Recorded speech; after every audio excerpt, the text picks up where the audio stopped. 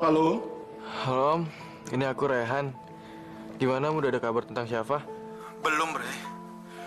Om sudah pupus harapan. Ke mana lagi harus cari dia? Ya Om, Om harus sabar dong. Terus banyak berdoa. Aku yakin kok Syafa baik-baik aja. Dan kita juga harus terus nyari Syafa. Kamu bener, ya. Om selalu berdoa buat keselamatan Safa. Terima kasih, ya, Re. Iya Om. Yaudah nanti kalau misalnya ada kabar tentang Syafa, Om langsung hubungin aku ya. Baik.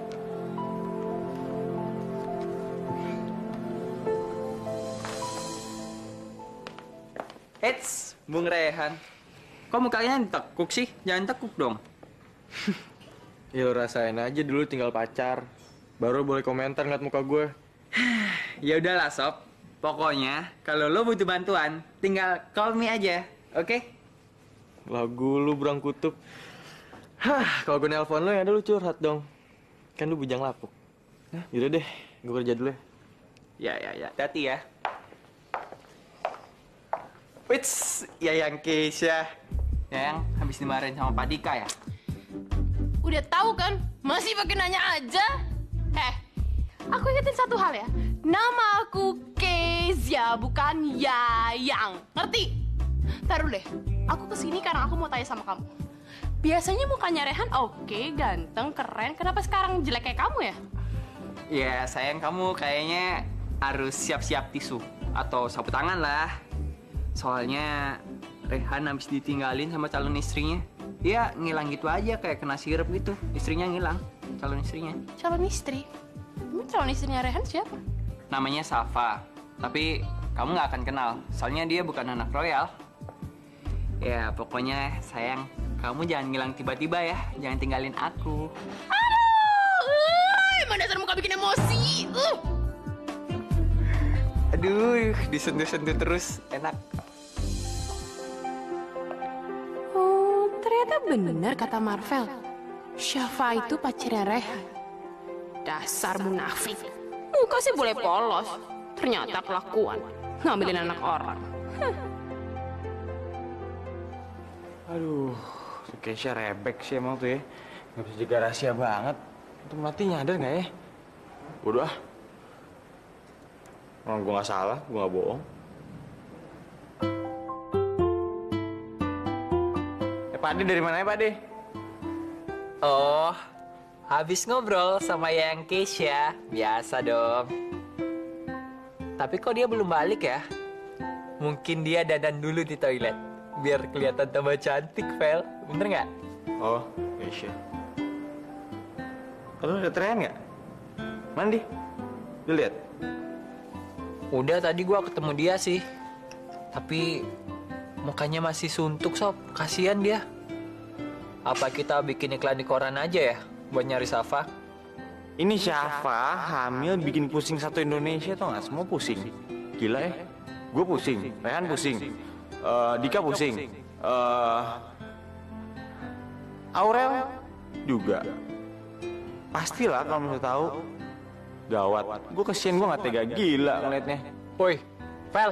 Woi, bengong aja. Ah, bengong aja nih anak. Mana Keisha? Ini Keisha. Nggak ada kan ya? Nggak ada, nggak tahu. Marvel, kamu jadi orang jangan celamitan ya. Kalau makanan itu bukan punya kamu, jangan dimakan. Apalagi dihabisin. Jangan jadi orang barbar yang maruk kamu. Kalau kamu mau jeruk balik, modal dikit dong.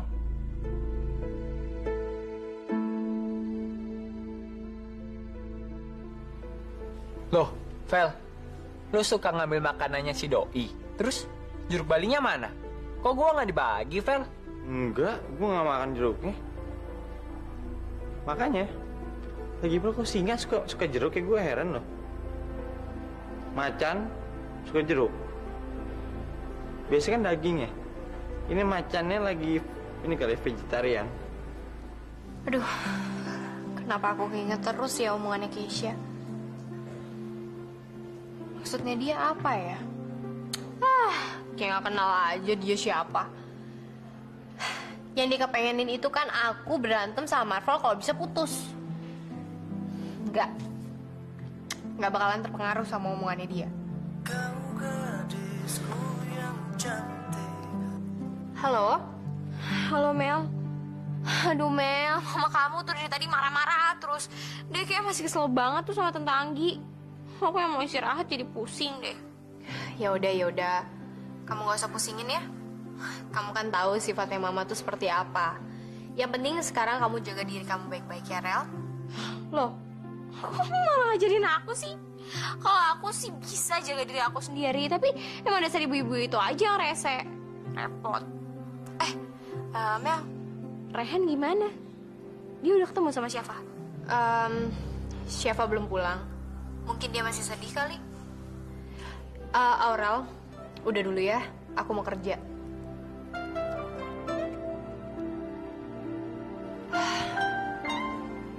Kok dia sekarang jadi perhatian banget ya sama Rehan?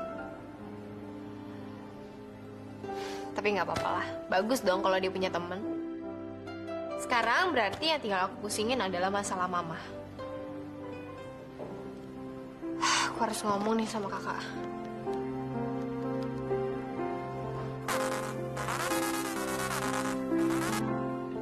Halo? Ah, Kak Dika. Aku perlu bicara sama kakak. Bisa nggak sekarang kita ketemuan di taman dekat kantor? Oke, kita ketemu di sana.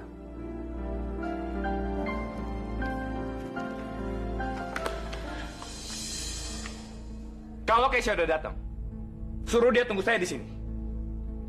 Saya ada urusan bentar. Dasar.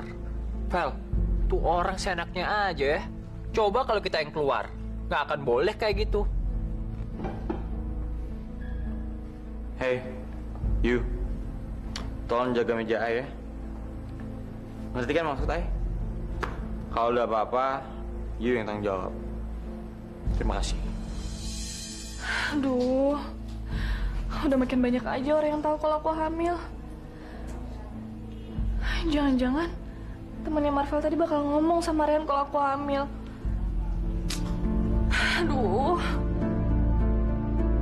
Enggak, enggak, enggak. Aku yakin Marvel pasti bisa mengatasi hal ini. Aduh, daripada aku mikir yang jelek terus, mendingan aku jalan-jalan aja deh refreshing. Kalau gitu aku mau ke toko perlengkapan bayi aja. Pasti nggak ada yang mergokin aku di sana.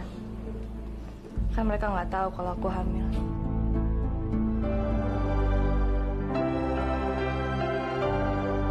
Ini gimana ya kalau misalnya Dika sama Melati tahu kalau Syafa itu lagi hamil anaknya Dika tuh.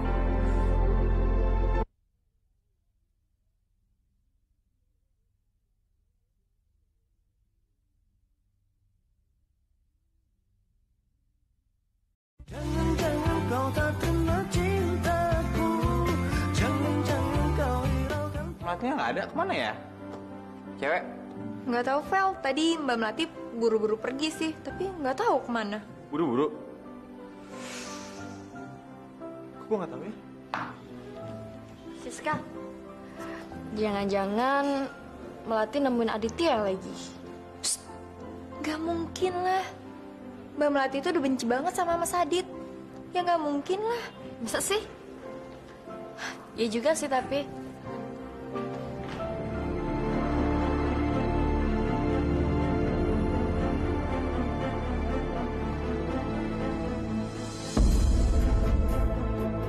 Saya nggak pernah lihat sih, Pak. Aduh, taksinya lama banget deh. Ini hari pertama aku keluar.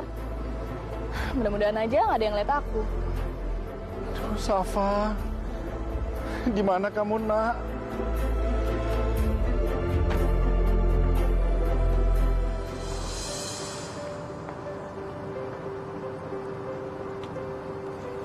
Mel? Tumben kamu ngajak aku ketemuan di sini.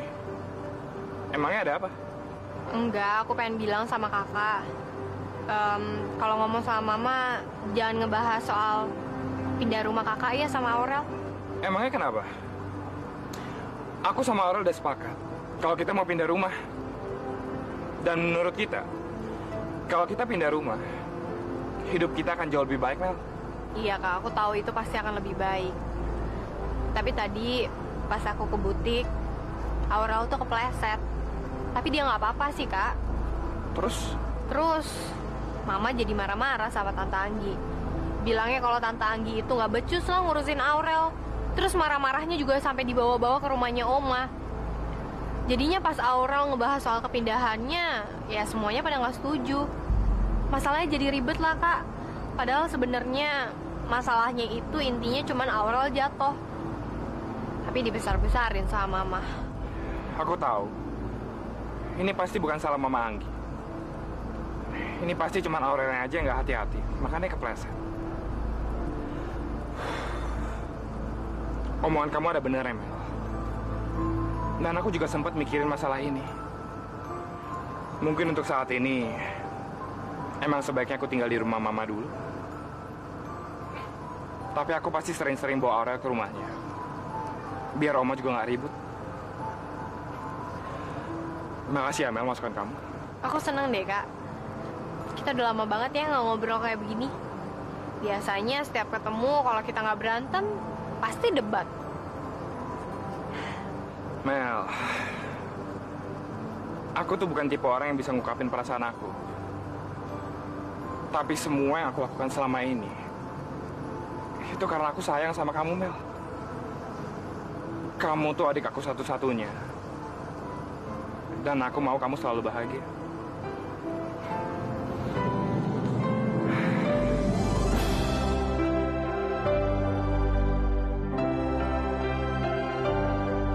Ini gimana ya kalau misalnya Dika sama Melati tahu kalau Syafa itu lagi hamil anaknya Dika lu? Vel, ngapain lu? Ngapain kayak udah gede ini lagi mikirin aja lagi sama Di.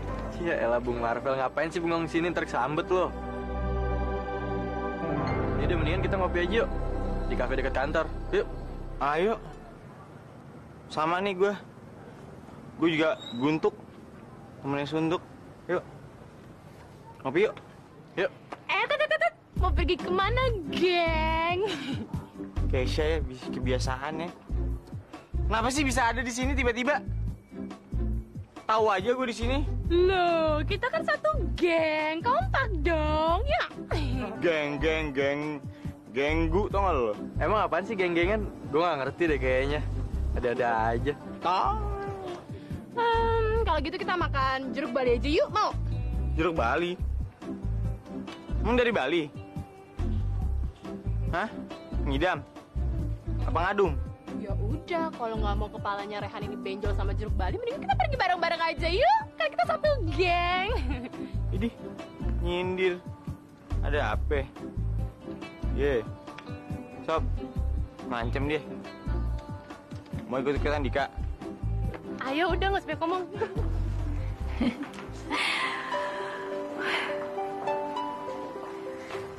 Aku harus beliin perlengkapan bayi untuk bayinya Aurel. Yang lucu-lucu, yang bagus-bagus. Jadi kan Aurel tahu kalau aku itu mertua jempolan.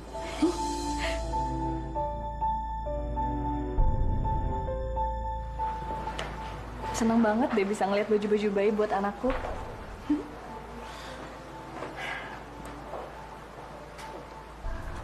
Seandainya aja Rehan bisa nemenin aku.